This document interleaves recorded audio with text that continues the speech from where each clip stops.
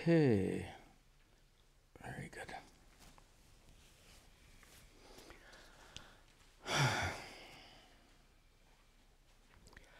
Om Sahana Vavatu Sahanau Bhunaktu Sahaviryan Karavavahai Tejasvinavadhitamastu Ma Vidvishavahai Om Shanti Shanti Shanti Om Oh, it was one of those days. I'm a little. Thank you. Chaitanyam sarvagam sarvam sarvabhutaguhashayam yat sarva vishayatitam tasmai sarvavide namaha. Good. Thank you uh, for mentioning that. Welcome to you all, and welcome also to many students who are attending this class online. Um, we're finally finishing this chapter 15. The chapters are getting longer. This chapter was 54 verses. Next chapter, I think, is 74 verses. I'll talk about that uh, next week when we begin the uh, chapter. Remember, uh, the chapter had this unusual name, Na Anyat Anyat Prakaranam. Na Anyat Anyat Prakaranam, which means one thing cannot become another. And we talked about it at the very beginning of this chapter, and we noticed that the second verse has nothing to do with the first verse. So I suggested that that was like a um, hypothesis that was going to be proved through the course of the chapter. One thing cannot become another is an indication of the unchanging nature of consciousness, which was indeed a major topic throughout this chapter. So that was Shankara's rather cryptic way of introducing the chapter, a chapter which is mostly focused on unchanging consciousness, and he used that expression one thing cannot become another, which we discussed at the very beginning of the class. Um, before I forget, I want to apologize to the online students. I failed to put the uh, slides up on the uh, video. Um, I put a note, I think most of you saw my uh, comment uh, on the video that said, it, that said, gave you the link to our website where you can find the PDF version. And if ever I forget to put the slides up, you all know you can go to our website and the entire PDF is, is there. Okay, uh, with that introduction complete, we come to the final verses, four verses left in the chapter. And it's conventional at the end of a very important work or chapter to discuss the phala, the fruits, the benefits of the teaching at the end. That's a convention that's pretty much always followed. And we'll see that in today's class as well. Shankaracharya describing what is the benefit of discovering the truth that your consciousness is unchanging. And just, just to ground that in our experience, how wonderful it is when you get it and when you're, like right now, when you're experiencing dizziness, or if you experience sadness or anxiety or anything else, how wonderful it is to know that you're okay. Because consciousness doesn't get dizzy. consciousness doesn't get sad. Con- your, the consciousness, which is your essential nature, remains utterly unaffected. So that, in, in a very brief way, summarizes the phala, the benefit of these teachings. We'll see Shankara's explanation of that, of that phala. Huh? Why aren't I getting that here? Sorry, I got another problem here. Why is that that? So, if for those of you wondering what's going on, I'm advancing the slides in the room, Oh, that's why. Okay. The slides are not advancing. The slides are not advancing. Let me see if I can relaunch this. This is all these buttons, a little, little tricky. So that was supposed to relaunch it. It's not launched. All right. So why? Give me just. I come out here early and set it up, set up the uh, system, but sometimes unexpected problems occur. So we'll try this again.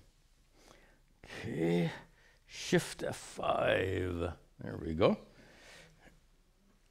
You have to learn all this arcane stuff. If you're using PowerPoint, you need to know the difference between F5 and Shift F5. okay. I've been using PowerPoint for a long time. Okay, now we're now we're ready. Sorry for the interruption. Yatoktam Brahma Veda Yatoktam Brahma Yo Veda Hanopadana Varjitam Hanopadana Varjitam Tatoktena Vidhanena Yatoktena Vidhanena Sasatyam Naiva Jayate Sasatyam Naiva Jayate Yaha Veda, one who knows Brahma. Brahman meaning the reality because of which you exist. So often Brahman becomes a very abstract reality. This is you. The reality because of which you exist, of course, is consciousness. Prajnanam Brahma, the one of the uh, Mahavakyas, which says that consciousness is Brahman. These are not two separate fundamental realities. There cannot be two separate fundamental realities. So Brahma here, Brahman, uh, in the undeclined form, is your consciousness, the truth because of which you which you exist. Yahaveda, one who knows that Brahman yatoktam, as taught in this chapter. And how is it taught in this chapter? Hana upadana varjitam. Brahman being free, and let me use the word consciousness here. Consciousness being varjitam, free from hana and upadana. From my gestures, you might get the meaning. Hana means rejection, upadana means acceptance.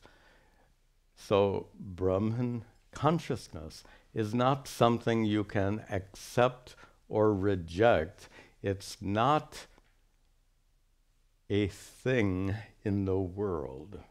My, my, my guru liked to make this particular joke in Hindi. He thought it was funny. I don't know if, if it is or not. You can be the ju- judge of it. He would, when he was talking about uh, not being one more thing in the world, he would say, "Aur ek cheez nahi hai." and I, as an American, I find it interesting that the word cheese in Hindi means thing. Anyway, that's, uh, that's language for you. so, Brahman is not one more thing in the world. Brahman is you. You are the one who can do rejection. You are the one who can do acceptance. Therefore, Brahman consciousness is not subject to either rejection or acceptance. Brahman is not an object, Brahman is you. And going back to Brahman as in his more abstract sense of the absolute reality because of which everything exists, that absolute reality can only be known as yourself. That's what that Tvamasi means. We won't get into that right now.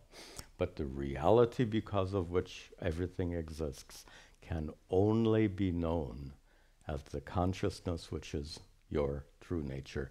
That's exactly what the Mahavakya Tattvamasi reveals. Okay, continuing here. simple Sanskrit. He says that you gain this knowledge yatoktena vidhanena by means of this vidhana, this methodology. Yatha uktena, as taught in this chapter, as taught throughout this text. And it's wonderful when we use that word explicitly. Vidhana means method. Oftentimes we use the word jnanena, through knowledge, and that leads people to the wrong conclusion that you have to ascertain all the knowledge contained in these scriptures, and that's how you get you get enlightened. But as we've said again and again and again and again, this is not about enlightenment is not the result of the acquisition of knowledge. And I know that statement goes contrary to many interpretations of, of uh, Shankara's teachings, but it is so true. Now, enlightened, in fact, Shankara himself says, Jnanam eva moksha. Moksha is through knowledge alone, but knowledge in the sense that actually Shankara's use of knowledge here is different than information. Shankara's use of, of knowledge there means the discovery of your true self. And we've had this discussion before, so we won't stretch it out. But this word vidhana removes that confusion because vidhana means method. These teachings, have you heard me say before, are a method of guiding your personal process of self inquiry to lead you to look within and discover what the ancient rishis discovered. The word jnanam doesn't quite convey all of that. But the word vidhana certainly does. Not, jnana means knowledge, but vidhana means method. And more than anything else, Vedanta is a method of self inquiry. Vedanta, as you've heard me say before, Vedanta is not a collection of philosophical teachings, right? Look at the difference. And that's a conventional understanding. Vedanta is a collection of, of Vedantic teachings. Not! Vedanta is a method of self inquiry. So, one who gains a knowledge, that, that Brahman, that one who discovers one's true nature as being not acceptable and not negatable, yatoktena vidhanena, through the methodology described in his teachers, saha satyam na eva jayate. That person, most satyam, truly, most certainly, it's used as an adverb here. That person absolutely is not najayate, is not born again, not subject to rebirth. Shankara here referring to the condition we call videha mukti, the liberation after you drop the body at the end of your life. We contrast that with Jivan Mukti, liberation while you're alive. And we often focus on Videha, on Jivan Mukti, the freedom that you enjoy here and now, the freedom in knowing whatever is going on in your mind or body doesn't affect you at all. That inner freedom is called here Jivan Mukti. And we often emphasize that because, a little technical point, um, other schools of Vedanta, like Vishishta Dvaita and Dvaita Vedanta, do not stress Jivan Mukti. In fact, Dvaita Vedanta denies it altogether and says the only way you get liberation is at the end of your life by going to, to Vaikuntha Loka, by going to some heavenly domain. So to focus on the uniqueness of Advaita Vedanta, we often stress Jivan Mukti, freedom while being alive. Now, that being so, and I'm leading up to an interesting point here, these uh, next, these three verses where Shankara is talking about the benefits, the phala of these teachings, he focuses on Videha Mukti and not Jivan Mukti.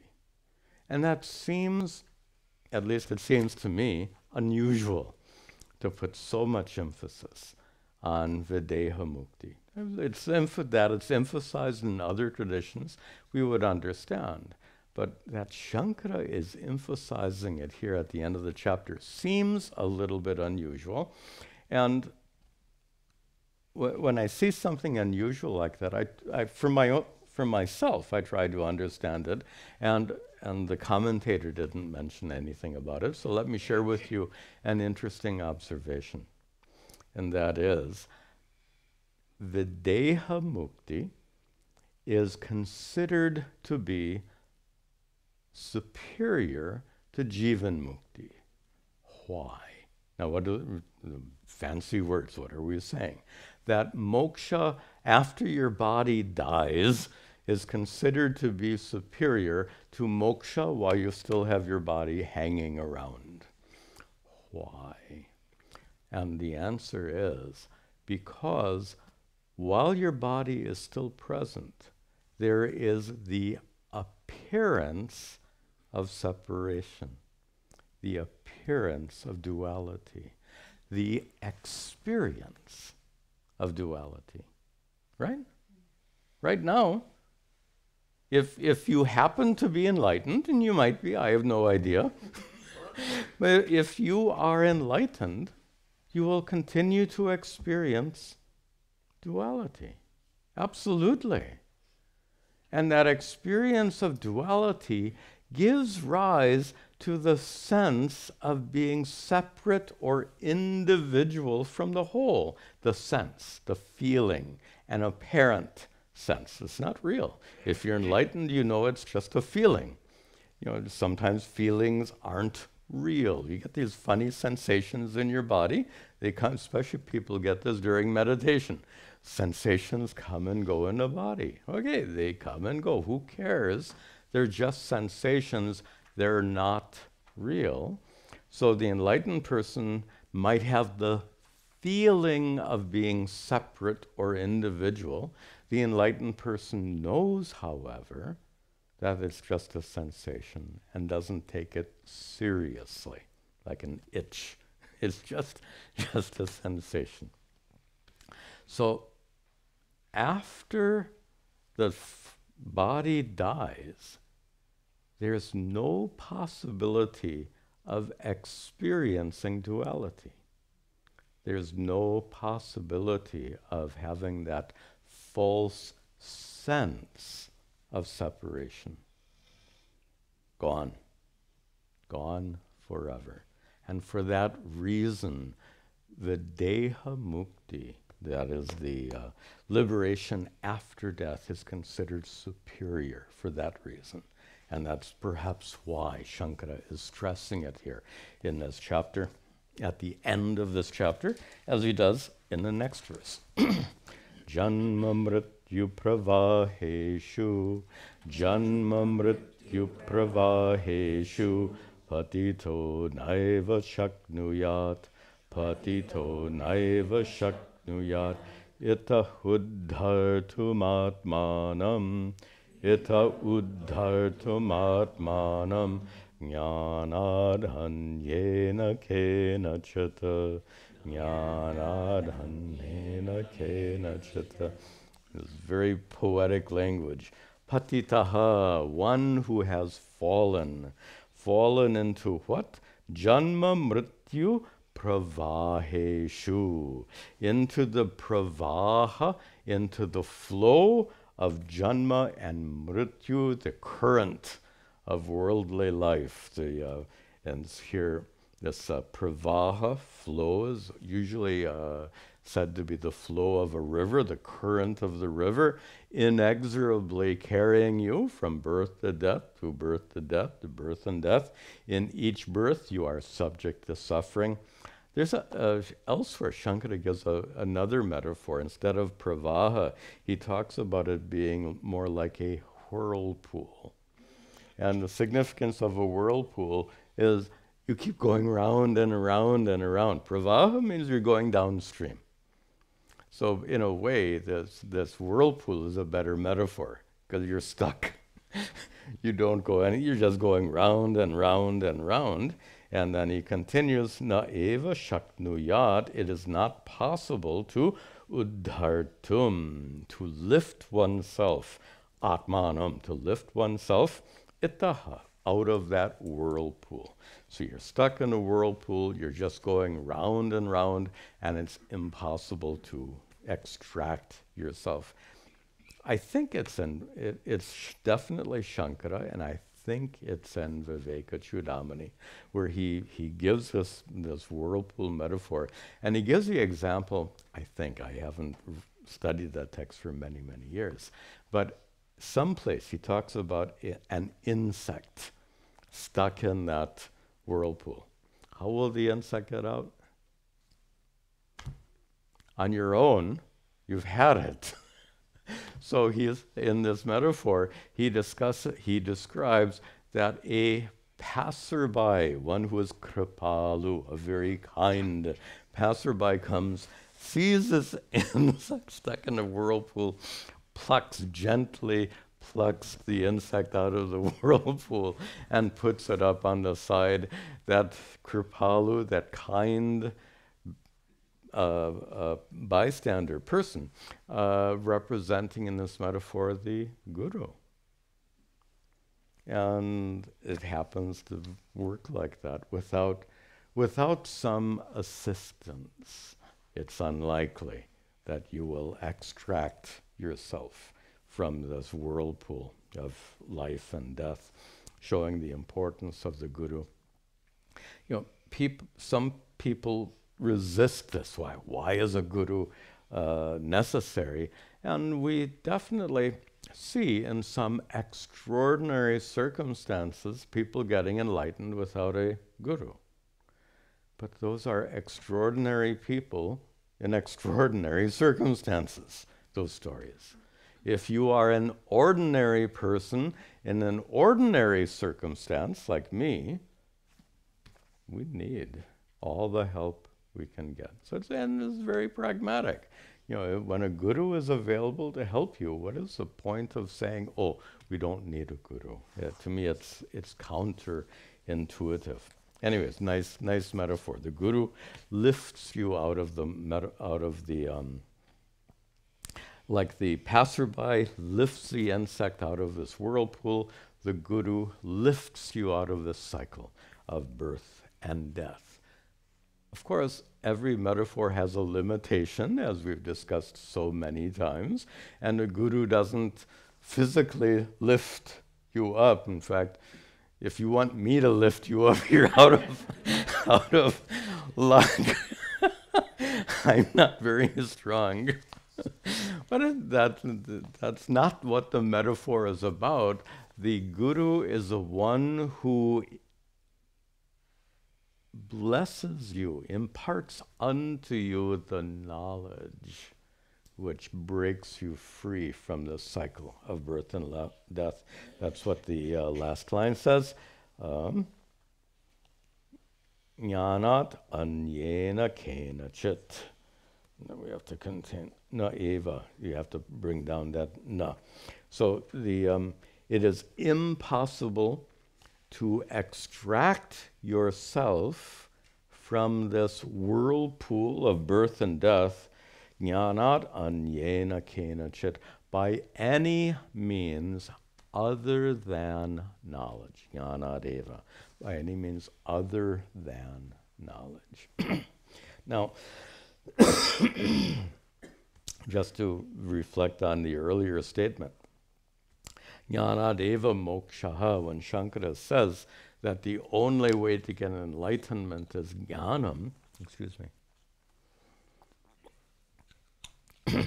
jnanam in a sense of personal discovery, some people resist, saying that sounds awfully dogmatic.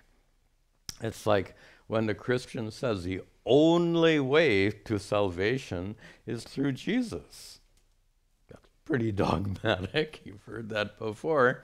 Here, Shankara says the only way to liberation is through knowledge. So, is Advaita Vedanta as dogmatic as, as Christianity? And we've discussed at great length how the problem is ignorance. The problem is the failure, to, the problem that causes suffering is failure to recognize your true nature as Satchidananda Atma. Due to that ignorance, avidya, kama, karma, some of you remember that sequence? Due to that ignorance of your true nature as Satchidananda Atma, due to that avidya, you naturally perform karma. You try to solve your problems and come out of that suffering.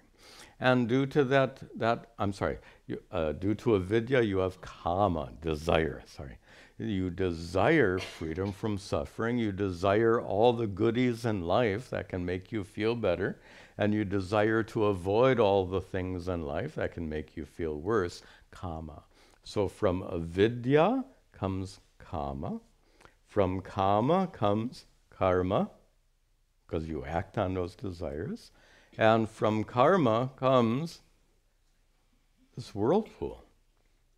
Because you keep collecting more karmas, which cause you to get reborn, reborn ignorant, karma, karma, reborn ignorant, karma, karma.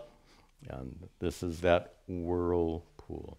And here, the, the simple point is this the statement jnanadeva moksha, jnanameva moksha, is not dogmatic because it can clearly be demonstrated that the fundamental problem, as my guru liked to call it, is ignorance. If the problem is ignorance, the solution is knowledge.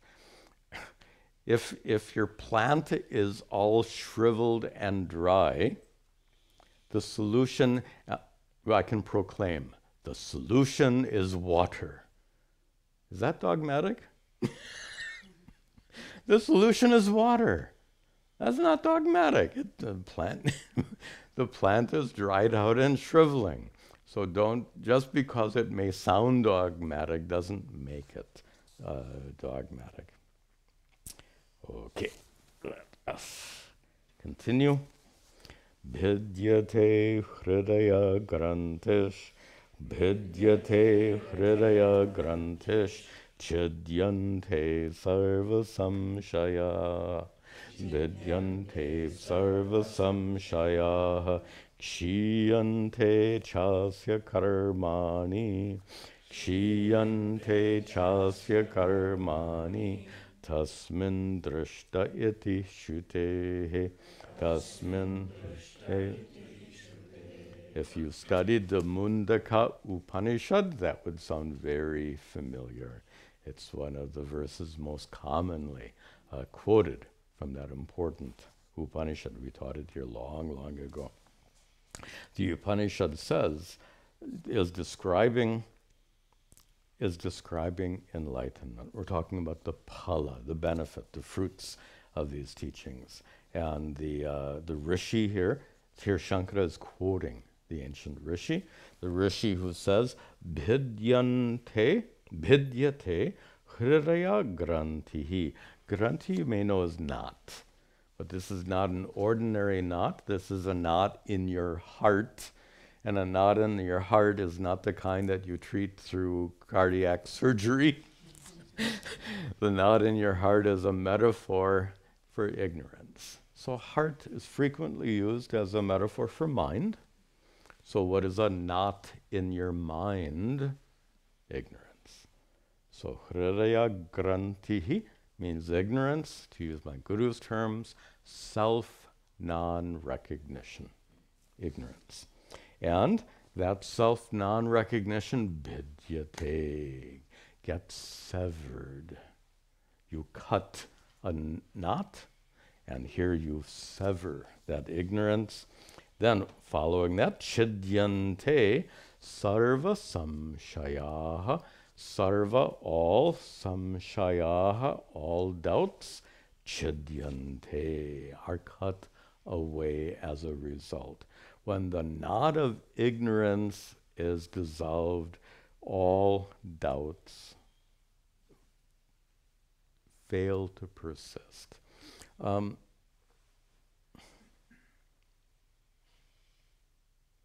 do you have any doubt that I'm sitting in front of you? Yeah, it, we don't doubt what we have discovered. However, if you haven't, if you if you came in here with your eyes closed, you may hear me talking, but you don't know for sure. I'm sitting here. I'm making. I just go for these silly examples. I don't know where they come from. Imagine you came here with your eyes closed, and you're sitting here right now with your eyes closed. You hear my voice, but it could be a recording. so you have some doubt. is he really is he really sitting there or is it a recording? There was a commercial about 30 or 40 years ago. Is it live or is it Memorex? Memorex was a brand of recording tape. Do any of you remember that commercial? Long ago. Who uses recording tape nowadays? Anyway, that's the, how old that commercial is. Anyway, when you open your eyes and you see me sitting here, it's not possible to have any doubts. Chidyante sarva samshayaha. Then kshiyante sarcha asya karmani. Asya for that person, uh, karmani all of the past karmas, the infinite amount of sanchita karmas, which has been keeping you going in that whirlpool for an infinite number of prior lives, all of that kshiyante gets removed, gets destroyed. Isn't it interesting that the length of time you've been in that whirlpool is irrelevant to getting out. If you just fell in, or if you've been in that, that whirlpool for thousands of years, thousands of revolutions, it makes no difference. In an instant, with the Guru's help, you are removed from that. Then the suggestion here is no matter how much karma you have collected. According to the doctrine of, of karma, you have an infinite collection of uh, infinite store, as it were, of, of karma, but it doesn't make any difference. In an instant, all of that goes away.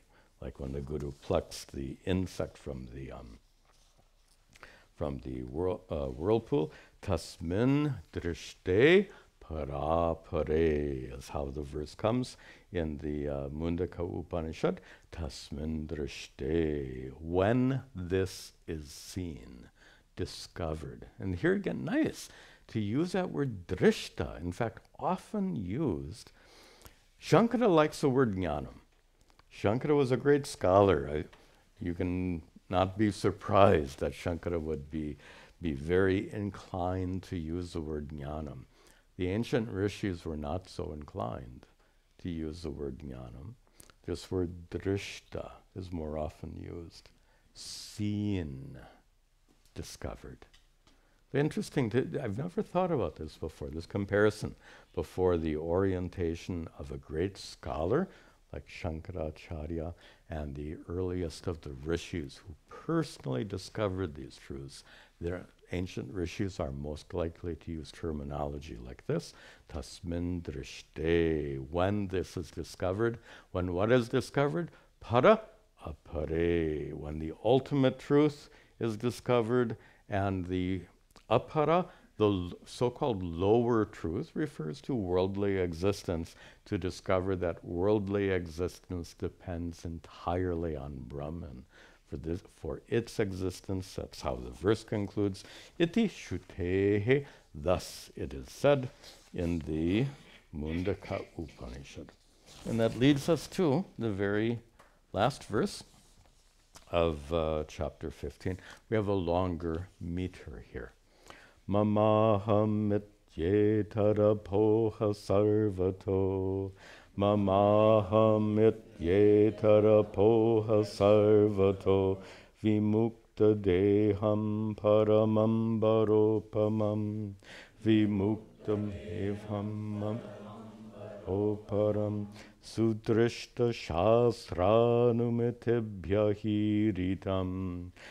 vimukta Vimutam evam oparam sudrishta shastranumitibhyahiritam sudrishta shastranumitibhyahiritam vimuchyate yadi nishchito naraha vimuchyate yadi nishchito naraha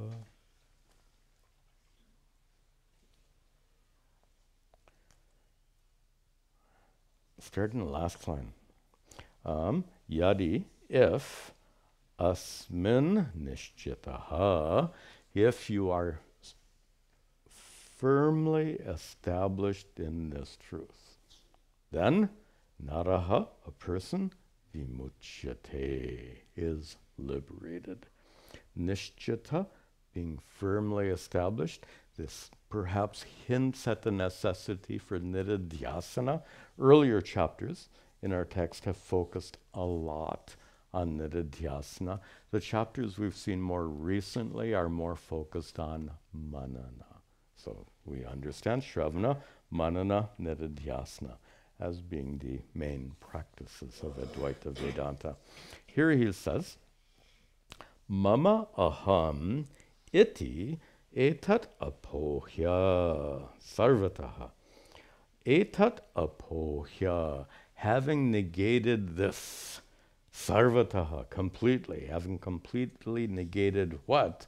Mama aham iti. Mama, mine. Aham, I.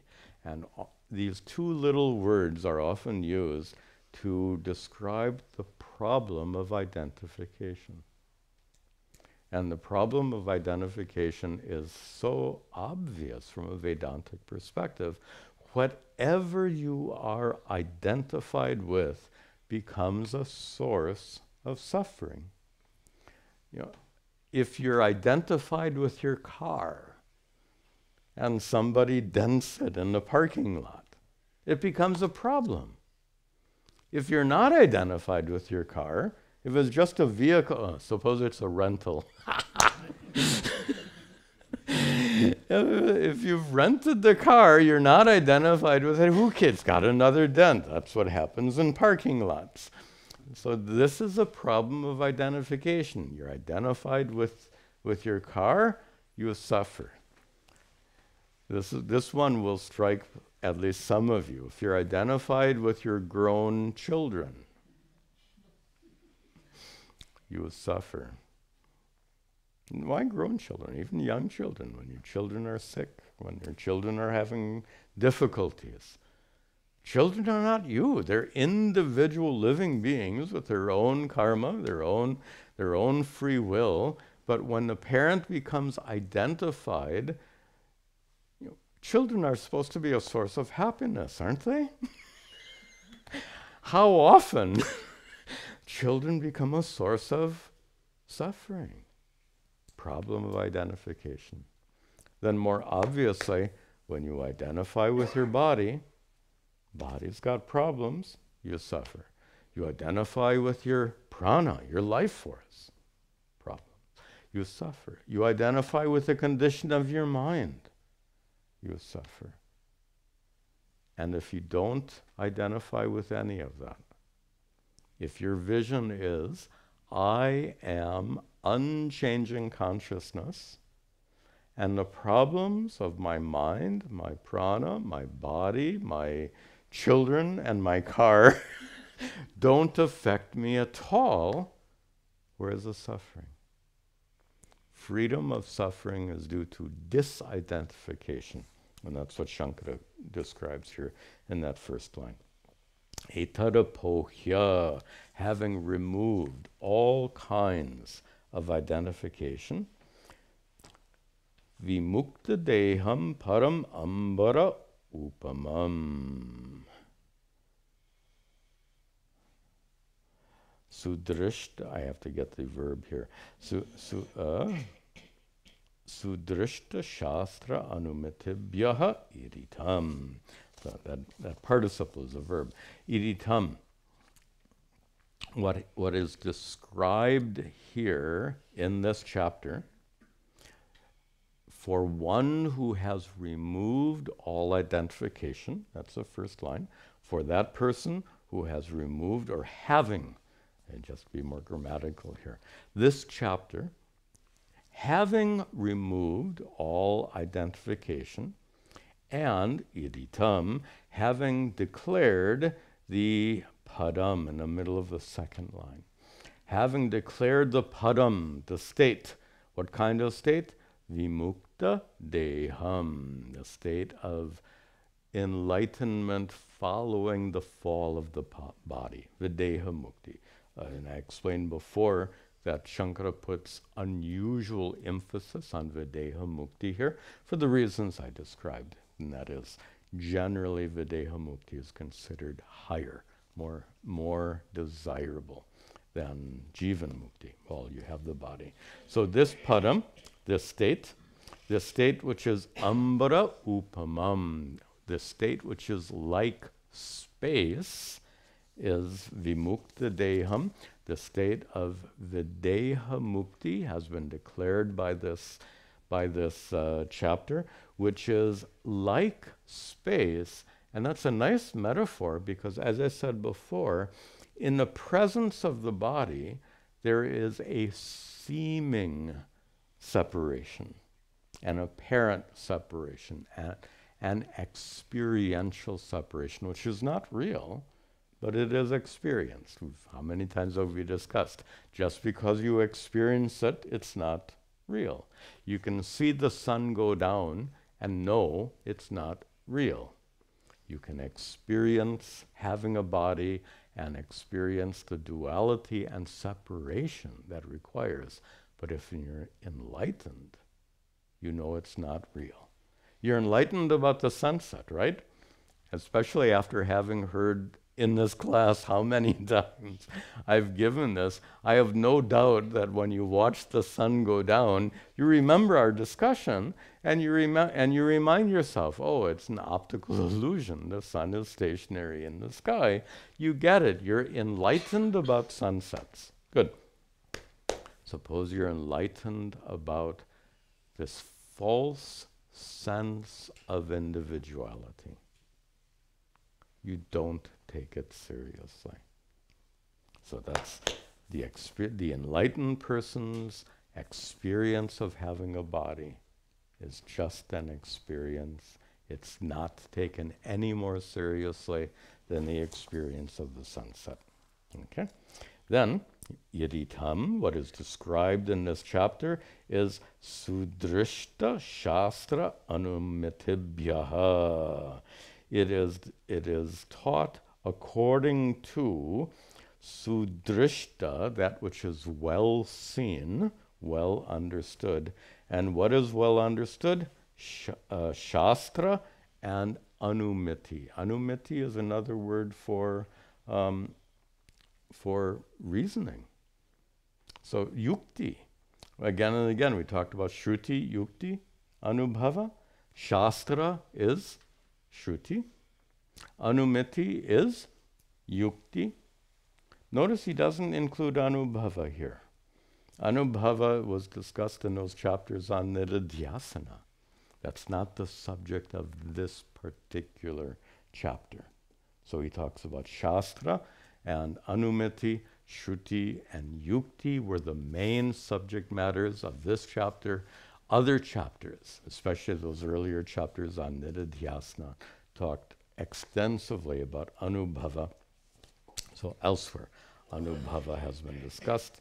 And in this way, Naraha, a person who is Nishchitaha, who is well established, Dasmin in these teachings, that person vimuchyate, is freed, is liberated.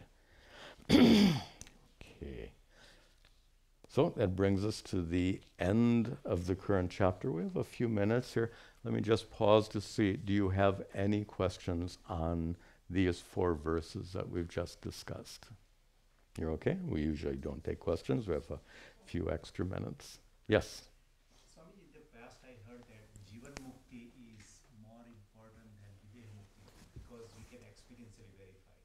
Right. But here it's like contradictory.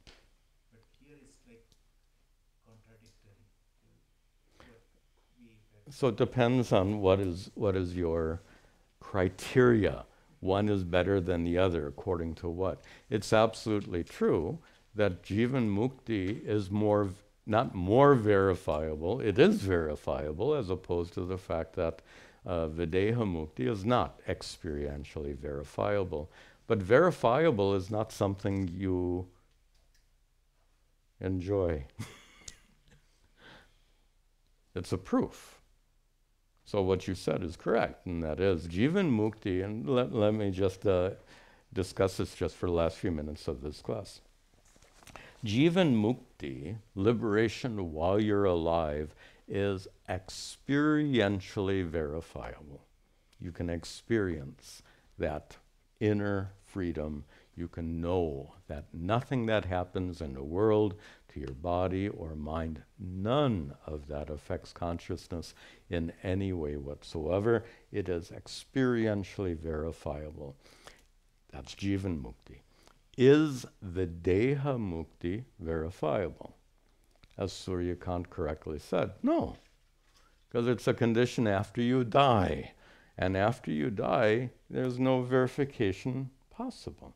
According to the scriptures, we are told that you're not reborn. And if you ask, how do I know for sure? Eh, you can't, we have to admit, it is not experientially verifiable. However, in, def- in defense of the uh, scriptures, if the scriptures were right about your true nature being Satchidananda Atma, so that you can gain that Jivan Mukti, if you are a Jivan Mukta, and somebody tells you that that uh, Videha Mukti is not verifiable, if you are a Jivan Mukta, you'll say, Who cares? What's the point? So,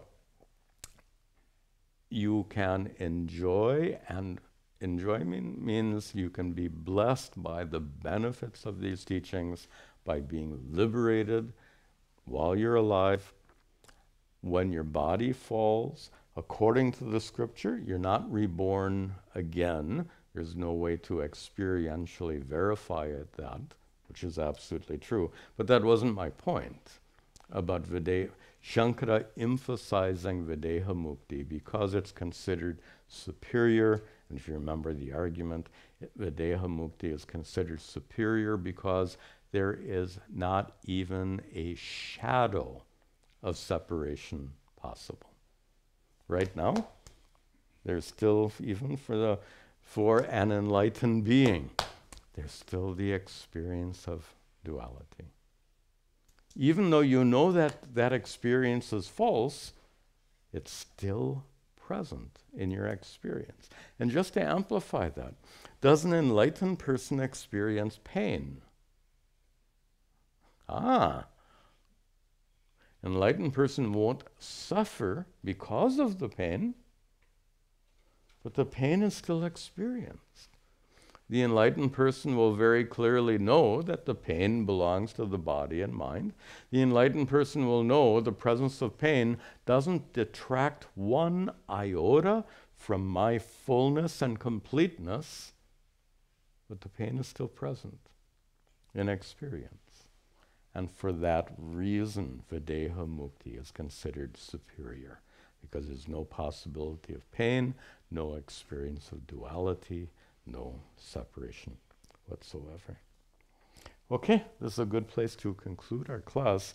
Um, I'll introduce next week's class next week. Doesn't make sense to do it right now, so we'll conclude with a prayer. ॐ सर्वे भवन्तु सुखिनः सर्वे सन्तु निरामयाः सर्वे भद्राणि पश्यन्तु मा कश्चिद्दुःखभाग् भवेत् असतो मा सद्गमय तमसो मा ज्योतिर्गमय मृत्योर्मा अमृतङ्गमय ॐ शान्ति शान्ति शान्तिः ॐ तत्सत् Very